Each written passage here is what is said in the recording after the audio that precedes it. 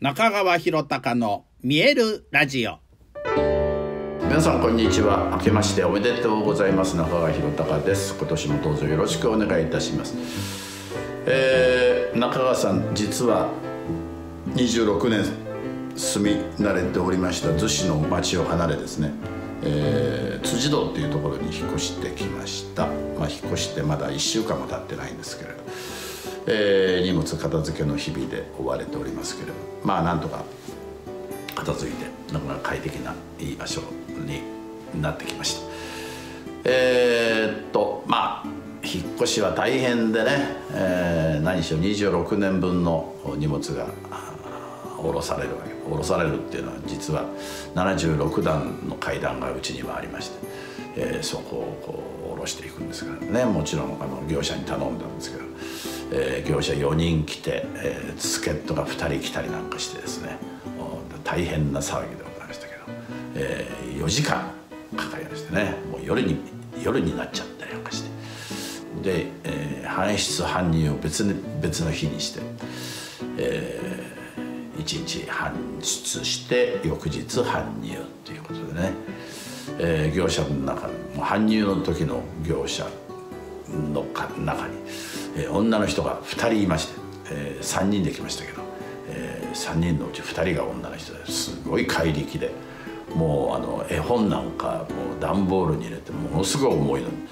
でそれを一人でガーッと運ぶんですね。それを2階に持って行ったりなんかして。いや大変だなと思いましたけどね、えー、まあまあ無事終わりまして、えー、いろいろこうね。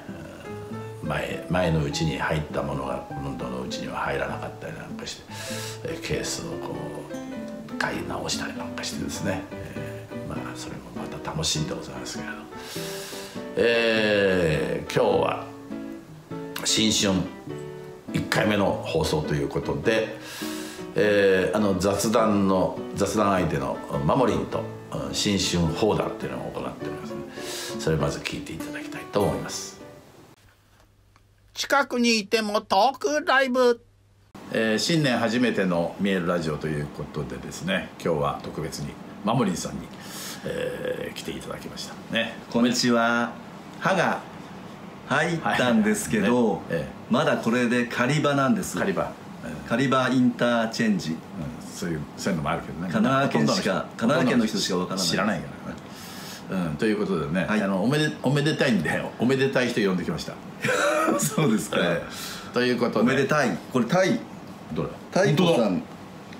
あの長野秀子さんの、うん、まあ、去年なんかあの保育団体の研修のために作られた記念 T シャツなんです。えー、はい「ノーウォー」って書いてるね。ノーウォー、はい。そうですかめでたい。めでたい。ということで。着てきたんだそうなんです。バッチリだね。はい。えー、今年は2022年ということでえー、っとなんかししてやろうみたいなことないの？あの今横須賀に住んでて、うん、まあ、鎌倉もそうですけど鎌倉逗子、うん、葉山、うん、三浦の紙芝居グループをネットワークでつないで、う。ん、えー、横須賀三浦半島紙芝居ネットっていうグループを立ち上げようと思ってるんです、えー、2月2日に、えー、2022年2月2日という日に。なるほどね。はい、で事務局長をやらせて2月22日の方が良かったんじゃない？のあそうかもしれない。でも2022年2月2日で2を全部足すと10になるんですようん。2022年2月2日。ああなるほどね。だからこれなんて言うんでしょうね。小さい数が集まって10になるっていう、小さい12の方が良かったんじゃないの？あ？自由に自由になる。12分って言いますもんね。そうだよ。ああちょっとまだもう変更しろよ先なんでちょっと考えさせていただきます。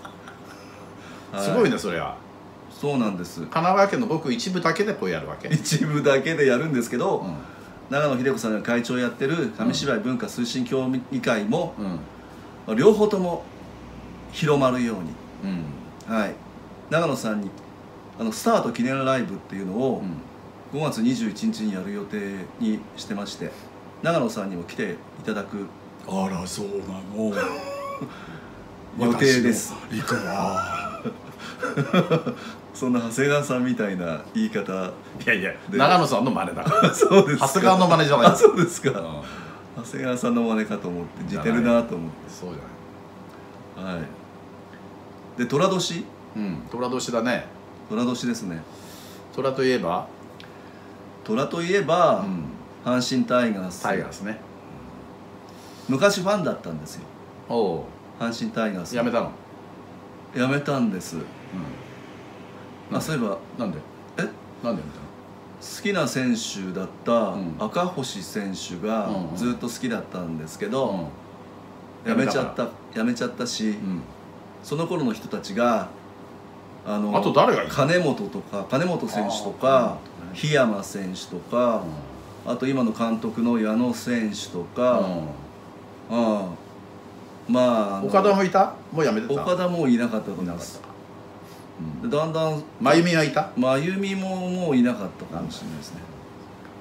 だからちょっとだんだんやめて今は申し訳ないんですけど、ん。横浜ベイスターズうん。のファンをやってます、やってんだ。はい。コロコロ買うんだな。コロコロコロぐらいですけどねあそう。まあ俺もそういうあのヤクルトあごめん。ああの5000円ありがとうございましたあのめでたくああちゃんちゃらんちゃちゃらちゃちゃんちゃちゃちゃらんちゃちゃ胴上げ2回目だからね。すごいですね。すごいでしょ。1回は狙ったんだけどバッチリ、うん、狙い倒れましたけどね。最終戦があの日本シリーズはねさすがにあの神神戸だったんで。行くのかと思ってましたよ神戸まで。行くのかなと思ったんだけどさすがにね。え神戸ーない程度。わ笑ってましたね。笑って許して。許す。何が？何でもないです。であのまあそういうことで、まあ、ヤクルトファンやらせていただいてますけど、はい。その前はねやっぱりジャイアンツだったんだよ。あやっぱり多分に漏れずそうですねうん。でやっぱり、うん。それで江川が辞めてええクロマティが辞めて、ええ。なんかこうつまんないチームになってたんだよなそので見渡してみたら、ええ。あのなんか池山とかさ広沢とか長嶋とかがさ結構こうバラエティ番組なんか出てて面白い長嶋一茂ですか？一茂。ああ、うん。このチームになろうってまああ。一番弱かったしね。最下位だったし、その頃から、うん。最下位のチームを応援するのっていいじゃない。でみるみるうちに優勝したからな。野村監督。そうですね。あの古田がいてね。あ古田がですね、うん。いやいや、ええ。本当だからあのうちの子が、えー5歳とかその頃だったからね。あ、うん。息子さんが？息子が。今もへえ36になってる息子がね、30年前、ということだな、うん。それででまあまんまとこうヤクルトファンにさせてだな、うん。で今孫もその息子の教えでヤクルトファンになってさ3人とも3人とも3代続けて3代続けて、うんこれ3代続けてあの応援に行ったからね。うん。その試合でみんなで。その試合へで優勝したから。セ・リーグの優勝かな。えいやーよかったですね。本当によかった。でもねあのその時あのベイスターズが相手だったんだけどさ、うんうん。であのその最終戦だったのベイスターズが。ええええでうん最後のこうフィナーレのセレモニーうんが用意されていたんだけれどちょっとあの阪神タイガースがああの2位でそこが負けるとあはい。あのヤクルトが優勝って決まる試合だった、待ってたんですね。そう待ってたんだけどそれをねあの横浜ベイスターズの球場がかな、うんスタジアムの関係者かな、まあ、あのオーロラビジョンにねその阪神戦の模様を映映ししてくれてこれは粋だなと思ったへねーさすがベイスターズうんさですね。すがベイスターズ。もう俺は来はい。年ベイスターズファンになろうかと思あずどうぞどうぞ。どうぞどうぞどうぞ。どうぞ。う行かないよ全然虎と関係なくなっちゃったんですけど。ででタイガースが負けたんでね。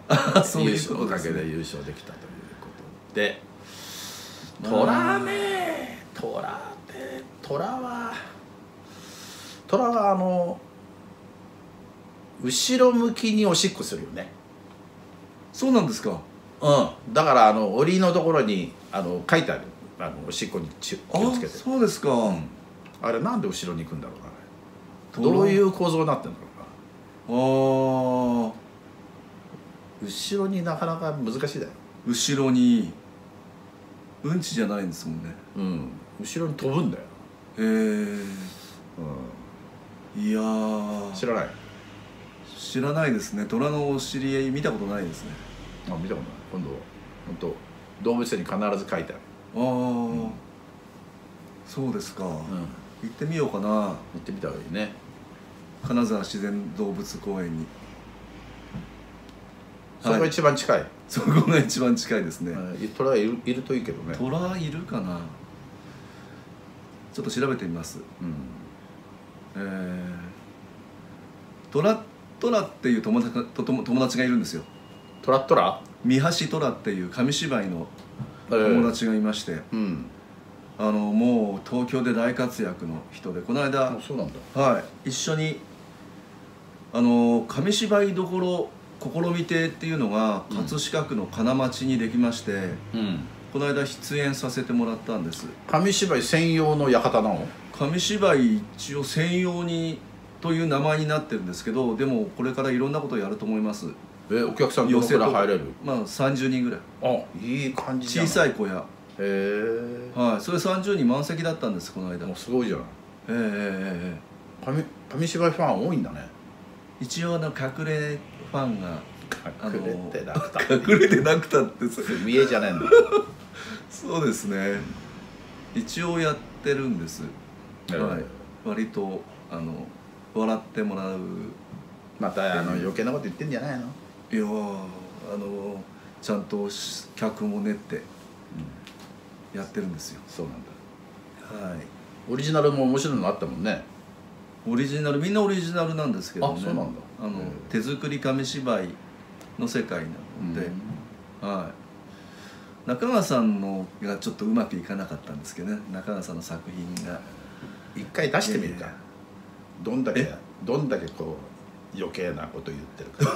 出してみるって僕の作品を、うんそうそう。ああのほら送ってもらったやつがあるあいいそれもいい。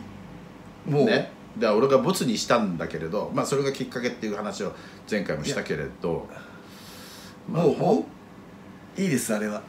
ういいか。うん。はい。出せるよすぐいやいやいやいやいやいや。全国の人にこう見ていただいて守りがいかにくだらないかっていやいやいやいいかにおめでたいかが分かるかもしれない。やいやいやいやもうはい。ちゃんとやったのにねちゃんとやってもボツになりましたからね。ちゃんとやったらつまんなかった。つまんなかったです、一つはふざけすぎて叱られて、はい。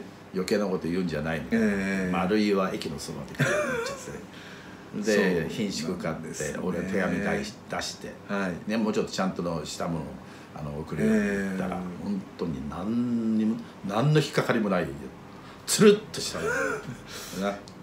いやちゃんとねやっぱあの脚本が通りに最初脚本ちょっと脚色しちゃったの。脚色しちゃってやっぱり脚本家に作家さんにああ悪いなと思って脚本通りにやってみたらやっぱりあの読み方があんまり良くなかった。んですね。ね。はい。じゃあそれ一旦見てもらう。そうですか？これです。どうぞ。まもるくんです。おまわりさんじゃありません。見えるラジオの7回目におまわりさんのまもるくんが出てきましたけど違います。まだ見てない人は見てみてください紙芝居をやります。紙芝居をやる前にこれを叩きます。これなんだか知ってますか？そう。火の用心の時に叩きますね。拍子木って言います。守くんが拍子木を叩くので皆さん一緒に手を叩いてください。せーの。早い。遅い。じゃあ叩きますよ。早く早く早く。最後に一回。はい上手ですね。では始まり始まり。新幹線は早い。脚本中川博隆さん。え和歌山静子さん。新幹線は早い早いはツバメ。こういうふうに進んでいきます。皆さんじっくり考えたい時はちょっと止めて考えてみてください。ツバメは黒い黒いは神奈川県知事じゃありません。黒いはピアノ。ピアノは重い。重いは？象象は大きい。大きいは？なんだろう？お日様。小さく見える時もあるけどね。お日様は赤い赤いは？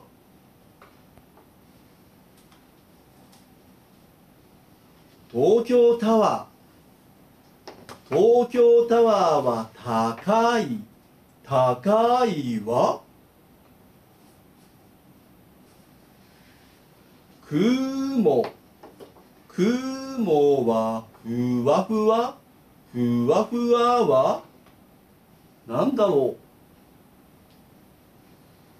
風船風船は丸い丸いは駅のそばじゃありません。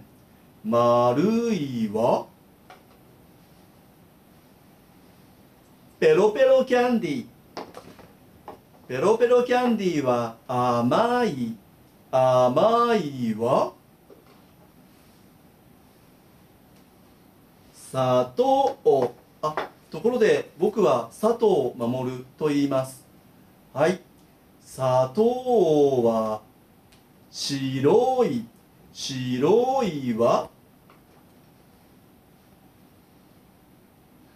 そうめん。そうめんは細い。細いは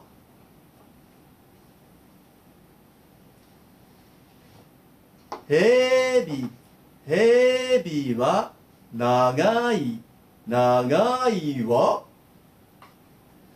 新幹線。はい。皆さんはコロナが収まったら新幹線でどこへ行きたいですか？では紙芝居はおしまい。それじゃあバイバー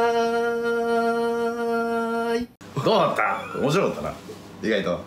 どうだった？面白い久しぶりに見て久しぶりに見ると。うん、まあ80点ぐらいですね。高いやんな。やっぱり余計なこと言ってるもんな。いやじゃああのちゃんとあの何もないやつちょっと見てもらおうか。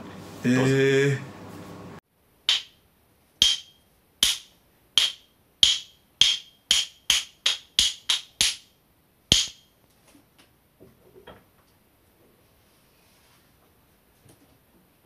新幹線は早い。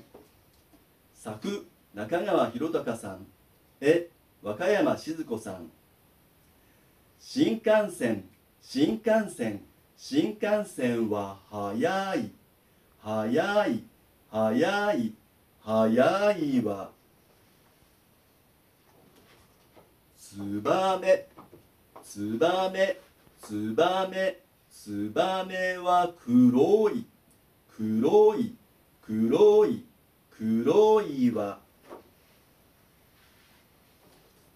ピアノピアノピアノピアノは重い重い重い重いは象象象象は大きい大きい大きい大きいはお日様お日様お日様お日様は赤い赤い赤い赤いは。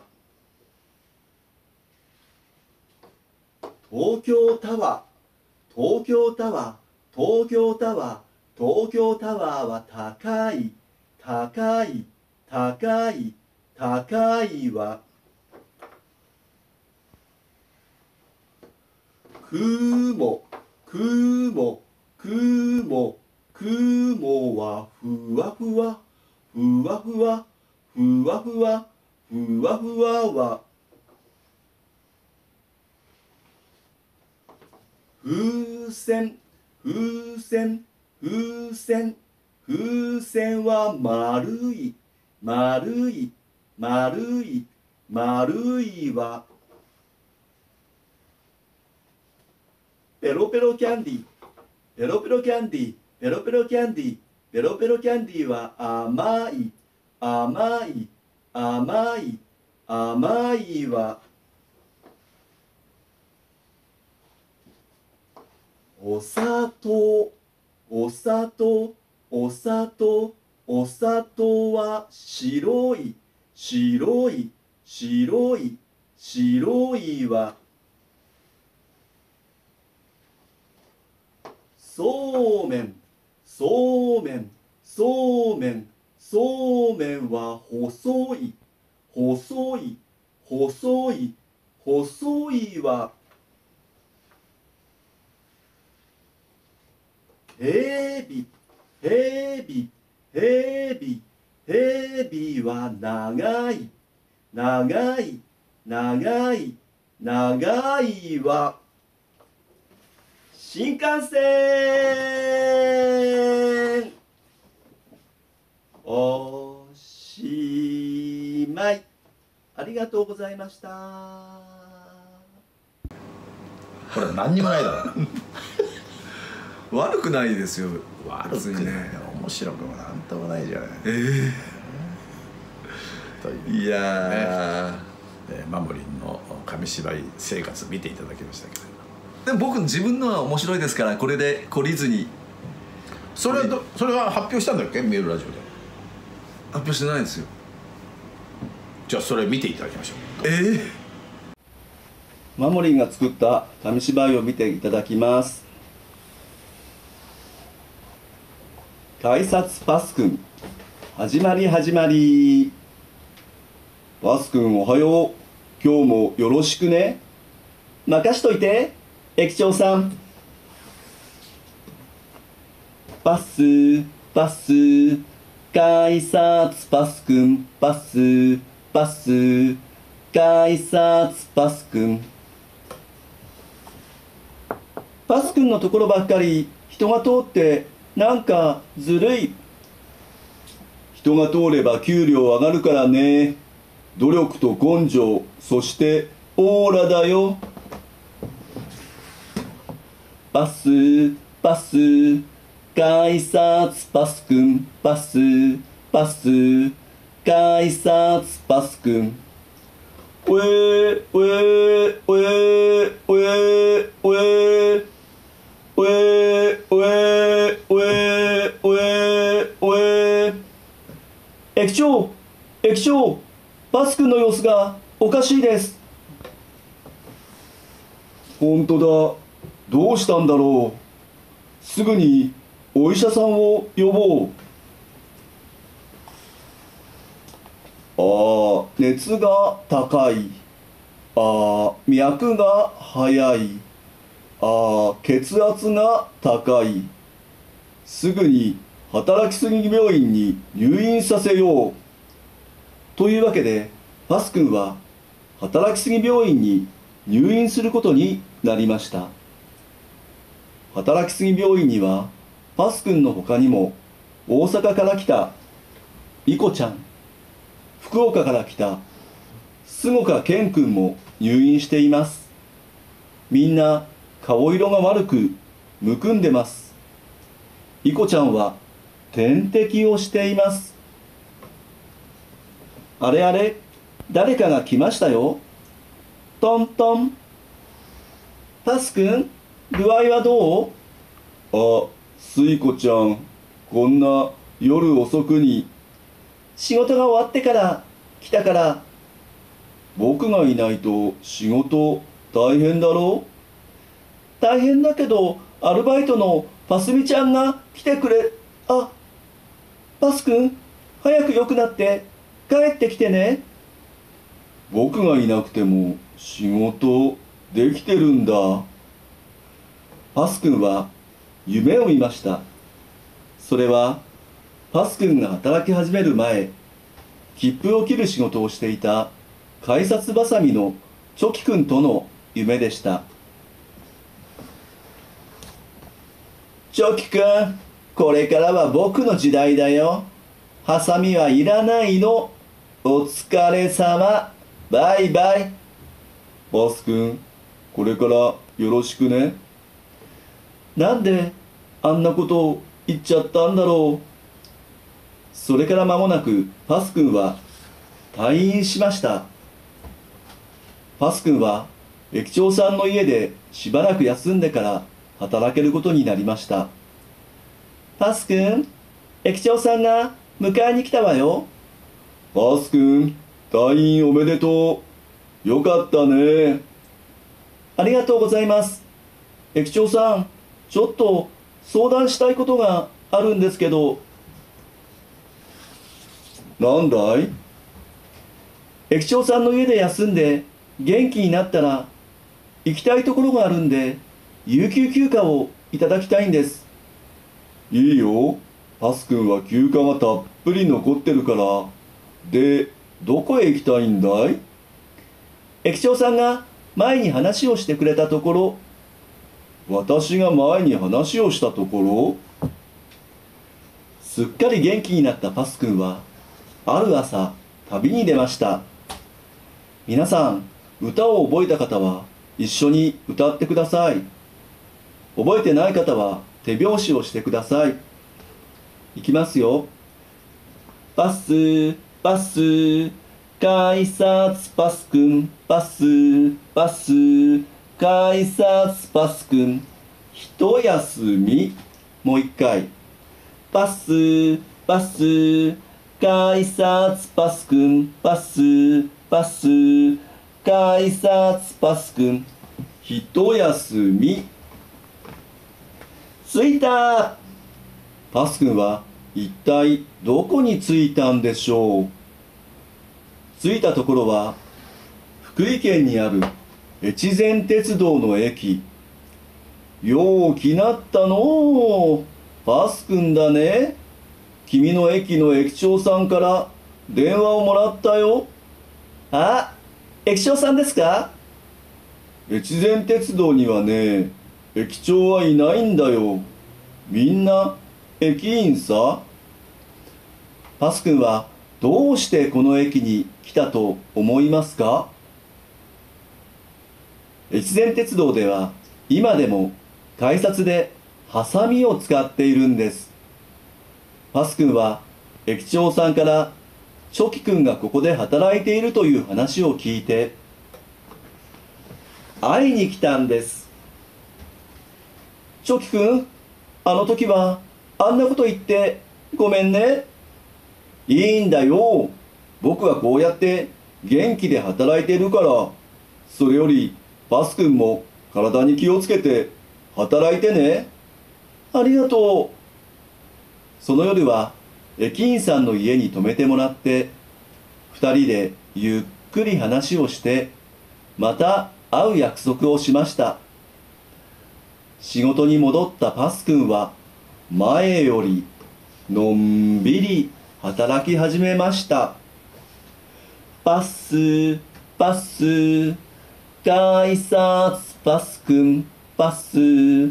パス改札パスくんそして時々こんな替え歌を歌っています。パスパス。改札チョキくんパス。パス。改札チョキくん。そして病気をしてよかったかもしれないな。なんて思ったりしています。パスパス改札パスくん。パスパス改札パスくん。おしまい。ありがとうございました。えー、マモリン3本立て。で、えー、2022年最初の放送で。これでいいんでしょうか？いや、うん、ありがとうございました、うん、まああの今年もどうぞよろしくお願いしますよ。ろしくお願いします、ね、まあ大体こんな感じで続くんですけれどまあよろしくお願いいたします。よろしくお願いします。今 TikTok で「ハッピーチルドレンという僕と新座が作った歌がバズってるようで、えー、何でも7万通りのものがアップされてるようですね。で有名人の方も結構上げていて山田花子さんとか田原俊彦さんとかですね、えー、大久保さんとか、えー、そういう方たちが上げているんでね、うん、あの僕と新座もこうやって見ましたけれど、えーちょっとその元歌聴いていただきたいと思います。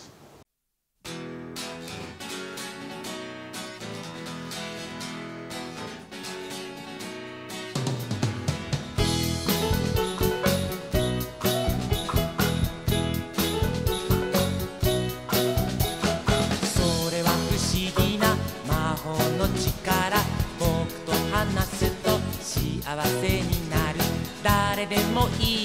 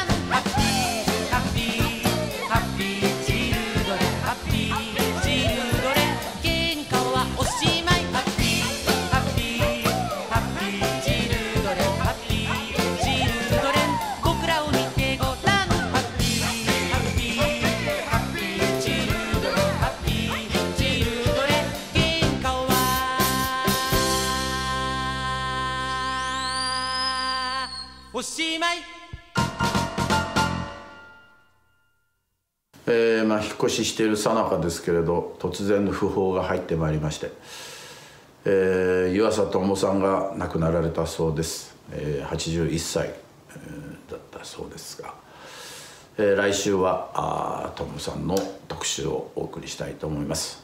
今僕がここにいるのは智さんに会えたからなんですね。智さんから全てが始まりました。来週は智さん特集でお送りしたいと思います。では最後はそのともさんと作った「風船」という歌を聴きながらのお別れにしたいと思います。ご冥福をお祈りいたします。